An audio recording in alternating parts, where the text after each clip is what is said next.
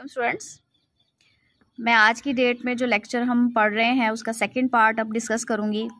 पिछले जो पार्ट में हमने सन के बारे में डिस्कस किया, अब हम जो पढ़ेंगे वो है अबाउट द अर्थ स्टूडेंट जैसे कि आप जानते हैं कि सोलर सिस्टम के नाइन प्लैनेट्स में से एक प्लैनेट हमारी ज़मीन भी है। और ये तीसरे नंबर पे है।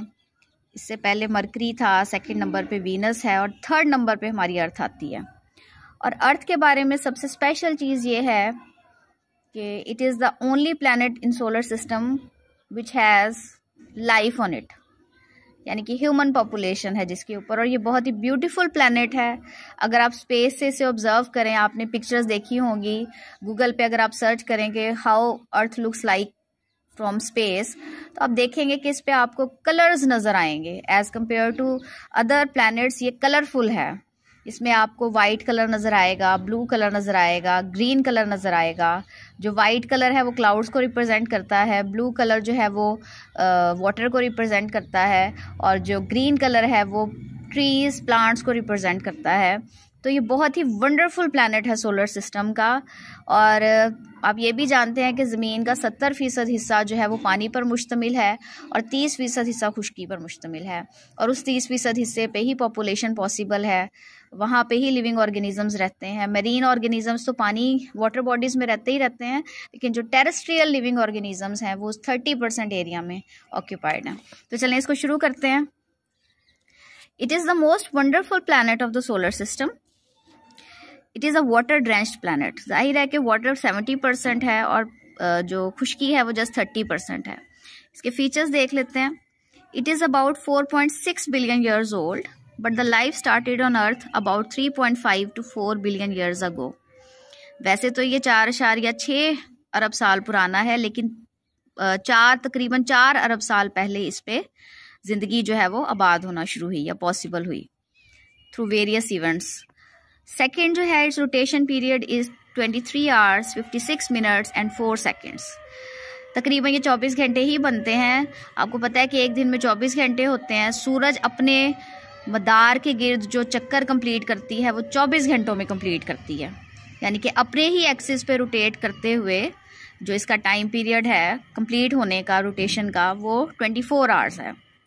जबकि सूरज के गिर्द जो इसकी रेवोल्यूशन है जो पूरा चक्कर कंप्लीट करती है वो तीन सौ पैंसठ दिनों में करती है।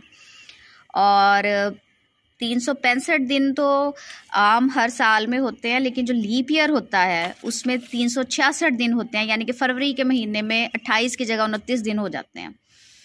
वो उनतीस दिन इसलिए हो जाते हैं क्योंकि जो ज़मीन का आ, सूरज के गिर्द रेवोल्यूशनरी पीरियड है वो three sixty five and one over four days है। ठीक है? वन ओवर फोर डेज़ है तो ये जो वन ओवर फोर डेज़ का जो एक्स्ट्रा ड्यूरेशन है, इसको हर साल ऐड करने की बजाय हर चार साल बाद, चौथे साल एक पूरा दिन ऐड करके उसको कंपनसेट किया जाता है। ठीक है? यानी कि तीन साल तीन सौ पैंसठ दिन और हर चौथे साल जो है वो वो जो one one over four days का हिसाब किताब है, उसको पूरा किया जाता है एक दिन ऐड करके कैलेंडर ईयर में। ठीक है? पता कैसे चलता है कि कौन सा साल लीप ईयर है और इसमें फरवरी में उनतीस दिन होंगे या अट्ठाईस होंगे, वो इस तरह पता चलता है कि जो ईयर चल रहा है, अगर तो वो फोर से डिविजिबल है। अगर वो चार पे तकसीम हो जाता है तो समझ लें कि लीप ईयर है और इस साल फरवरी में उनतीस दिन होंगे अट्ठाईस की बजाय। अगर वो ईयर डिविजिबल नहीं है तो इट मीन्स के ये जो करंट साल चल रहा है या जो भी साल ऑन गोइंग है, वो लीप ईयर नहीं है। जैसे कि जिस ईयर में अब हम गुजर रहे हैं, ये 2020 है। ये फोर से डिविजिबल है। तो it means the current year या जो प्रेजेंट ईयर है, ये लीप ईयर ही था। उसके बाद थर्ड पॉइंट क्या है जी?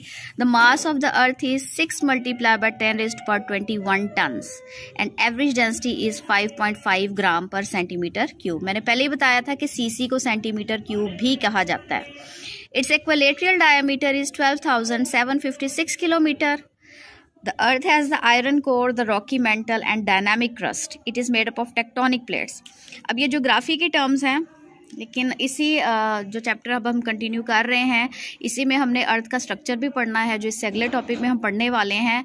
तो उसमें हम डिटेल से पढ़ेंगे फ़िलहाल के लिए। मैं आपको इतना बताना चाहूँगी कि ज़मीन की तीन तहें हैं, जो बैरूनी तह है आउटर मोस्ट लेयर उसको क्रस्ट कहा जाता है, जो उसके अंदर है उसको मेंटल कहा जाता है, और जो इनर मोस्ट लेयर है उसको कोर कहा जाता है, जो एरिया है उसको कोर कहा जाता है। वो लोहे का बना हुआ है, उसमें लोहे का मुआद है कह लें। रॉकी मेंटल है चटानदार जो है वो सेकेंड पोर्शन है, और जो डायनेमिक क्रस्ट है बैरूनी सतह है, उसको क्रस्ट कहा जाता है। ज़मीन पे जो ऑक्सीजन पाई जो, सॉरी गैसेस पाई जाती हैं, उसमें सबसे ज़्यादा जो है वो सेवेंटी एट परसेंट नाइट्रोजन है और ट्वेंटी वन परसेंट ऑक्सीजन है। इसमें से ऑक्सीजन जो है वो लाइफ जिसे कहते हैं कि लाइफ कॉजिंग गैस है। ऑक्सीजन के बगैर ज़िंदगी पॉसिबल नहीं है, हमें ब्रीदिंग के लिए ऑक्सीजन चाहिए। ये सेकेंड मोस्ट अबंडेंट गैस है in the atmosphere after nitrogen. The atmosphere has about 3100 cubic miles of water in the form of clouds which is responsible for producing different seasons. Water cycle है वो एक अलग term है water cycle की वजह से clouds की वजह से ही ज़मीन पर वेदर जो है वो क्लाइमेटिक कंडीशंस जो है वो डिफरेंट सीज़न आते हैं अर्थ के मुख्तलिफ़ पोर्शंस पे मुख्तलिफ़ क्लाइमेट्स हैं और एक ही जगह पे मुख्तलिफ़ सीज़न आते हैं। अच्छा सीज़न और क्लाइमेट में क्या फ़र्क होता है? क्लाइमेट कहते हैं किसी एक जगह पे जो उसका ज़्यादातर डोमिनेटिंग सीज़न हो, उसको उसका क्लाइमेट कहा जाता है। जैसे कि पाकिस्तान की बात करें तो पाकिस्तान का जो क्लाइमेट है या जो क्लाइमेटिक कंडीशन है, वो ज़्यादातर गर्म गर्म है। आप ये कह सकते हैं कि Pakistan is a hot area क्योंकि ओवरऑल यहाँ पर गर्मी का सीज़न जो है, वो डोमिनेंट रहता है। जबकि जिस एरिया में सर्दी का सीज़न डोमिनेंट रहेगा तो वहाँ पर हम कहेंगे कि it has a cold climate, ठीक है? तो क्लाइमेट कहते हैं लॉन्ग टर्म सीज़न जो चलता है उसको।